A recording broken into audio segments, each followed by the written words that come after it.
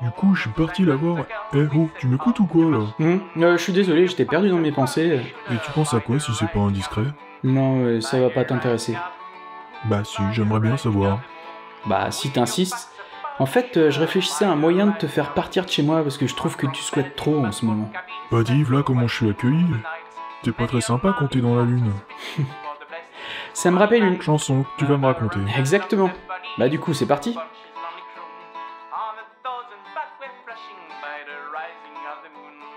Bonjour à toutes et à tous. Aujourd'hui, on va parler de The Rising of the Moon, une chanson traditionnelle irlandaise du milieu du 19e siècle écrite par John Keegan Casey. Elle emprunte sa mélodie à une autre chanson irlandaise dont les premières versions remontent aux années 1800, The Wearing of the Green, qui parle de la révolte irlandaise de 1798 menée par la Société des Irlandais Unis, dont le vert était la couleur de ralliement. D'ailleurs, si vous voulez en savoir un peu plus sur cette révolte, n'hésitez pas à regarder ma vidéo sur The Sean Van Vogt. The Wearing of the Green est une véritable chanson politique qui inspire tout naturellement John Keegan Casey, qui est connu comme le poète des Fenians. Le poète de quoi? Les Fenians L'autre nom qui désigne depuis l'époque de John Keegan les nationalistes irlandais qui ont choisi la violence pour s'opposer contre la présence des Britanniques en Irlande. Ce mot fait référence au groupe de jeunes guerriers mené par Fionn McCool, une figure de la mythologie irlandaise. Avant d'aborder la chanson, posons-nous un peu pour bien comprendre le contexte dans lequel John Keegan Casey l'a écrite.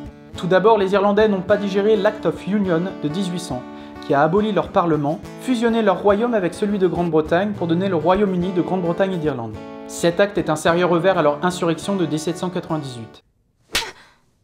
Ensuite, ils ont subi les grandes famines de 1845 jusqu'au début des années 1850. Même si elle a tenté de remédier à ce fléau, la Grande-Bretagne n'a pas été d'un grand secours auprès d'Irlande. Elle a participé à accentuer la précarité des Irlandais et ces mesures ont été insuffisantes, voire inadaptées. Pour résumer, ces famines ont participé à augmenter la pauvreté des Irlandais, affaiblir la population, entraîner une émigration massive, on parle de 2 millions d'émigrés pour une population de 9 millions en 1845, et entraîner un effondrement démographique important avec 1 million de morts. C'est un bingo Pendant ce temps, ça roulait tranquille pour la Grande-Bretagne, qui continuait d'importer des céréales et du bétail d'Irlande, alors que les récoltes de pommes de terre, qui étaient pratiquement la seule source de nourriture des Irlandais, pourrissaient sur pied à cause d'une maladie, de mildiou, affamant ainsi la population. Allez, une petite anecdote pour enfoncer le clou. Vous saviez qu'à l'époque, l'armée britannique avait les plus gros stocks de nourriture d'Europe, mais a refusé de les débloquer pour l'Irlande. En gros, pendant que les Irlandais crevaient de faim, la Grande-Bretagne donnait l'impression de se gaver tranquillement. Fanny, monsieur, a waffle thin mint. Le sentiment anti-britannique se développe pendant toute cette période, jusqu'à atteindre un paroxysme. En 1858, l'Irish Republican Brotherhood, une organisation révolutionnaire, est créée. Si j'ai bien suivi, on peut dire que c'est un mouvement feignant. Tout à fait. L'IRB n'a pas pour vocation d'être tendre avec l'occupant britannique. Il prépare une révolte pour en découdre avec la Grande-Bretagne à la première occasion. You got a problem?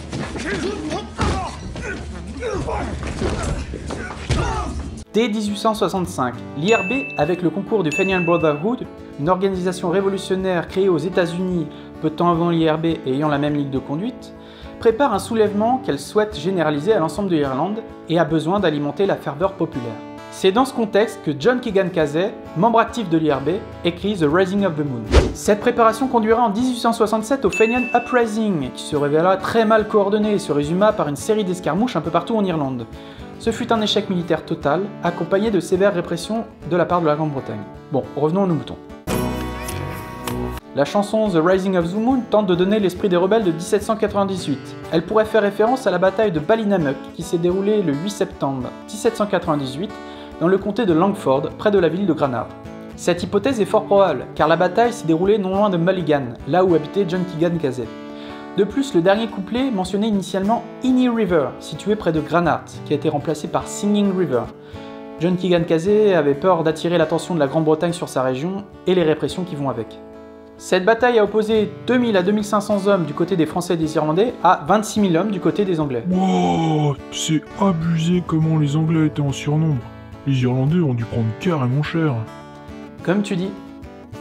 La bataille a rapidement tourné à la débâcle pour les Français et les Irlandais. Seul un noyau de 300 Irlandais s'est battu vaillamment jusqu'à être décimé. Les Irlandais perdront 500 hommes et 200 seront faits prisonniers. Du côté français, on déplore 30 morts pour un peu plus de 800 prisonniers. Et pour les Anglais, les pertes sont minimes, avec 12 morts et 16 blessés. D'ailleurs, on saluera le courage des Anglais, qui se sont battus à un peu plus que 12 contre 1.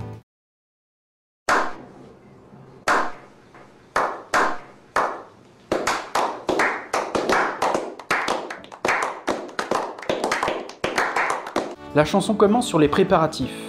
Un soldat interpelle l'un de ses camarades, appelé Sean O'Farrell, et lui demande pourquoi il court comme ça. L'autre lui répond Tais-toi, écoute-moi bien. Je porte les ordres du capitaine qui a demandé à ce qu'on se prépare et que les armes soient prêtes au lever de la lune, by the rising of the moon, d'où le nom de la chanson. Au deuxième couplet, le soldat demande à Sean O'Farrell où sera le point de ralliement? Il lui répond que ce sera au bord de la rivière, là où ils ont l'habitude d'aller. Le code sera le sifflement de l'air de marche, et il faudra avoir les pics sur l'épaule au lever de la lune. Au troisième couplet, les hommes sont rassemblés dans une mudwall cabin, une maison rudimentaire construite par les Irlandais pauvres à l'époque, à l'aide de boue et de branchages. Il est dit que les cœurs virils rassemblés là battent pour voir la lumière du matin béni, en référence au jour de la bataille à venir. Des murmures courent le long de la vallée jusqu'à devenir celui solitaire d'une banshee. C'est alors qu'on voit mille pics clignoter au lever de la lune. Dans ce couplet, John Keegan Casey fait référence à la Banshee, une figure de la mythologie irlandaise, annonciatrice de mort. Il souhaitait peut-être ainsi renforcer la détermination des Irlandais à tuer l'ennemi. Mais bon, quand on sait comment la bataille de Ballynamuk a tourné, pas sûr que les Anglais qui ont entendu cette chanson à l'époque ont dû être très impressionnés. Look, I'm awfully sorry. but- am the Grim Reaper. The Grim Reaper. Yes, I see. I am death. Who is it, darling? It's a Mr. Death or something. He's come about the reaping? Au dernier couplet, une masse noire d'hommes a été vue le long de la rivière Dini, dans la version d'origine de la chanson, ou le long de la rivière chantante, dans la version maintenant en vigueur. Au-dessus de leurs âmes brillantes volait leur verre bien-aimé. La couleur de ralliement de Fenians. Exact. La chanson proclame ensuite la mort à tous les traîtres et aux ennemis, et se termine par un hurrah à la liberté. A noter qu'à la fin de chaque couplet, il est fait référence au lever de la lune, by the rising of the moon, qui est repris dans les deux premiers vers de chacun des refrains. J'ai beau y chercher, mais j'ai pas trouvé ce qui pourrait expliquer cette référence à la lune. T'inquiète pas, j'ai l'explication. Regarde, ta lune, c'est pas un astre.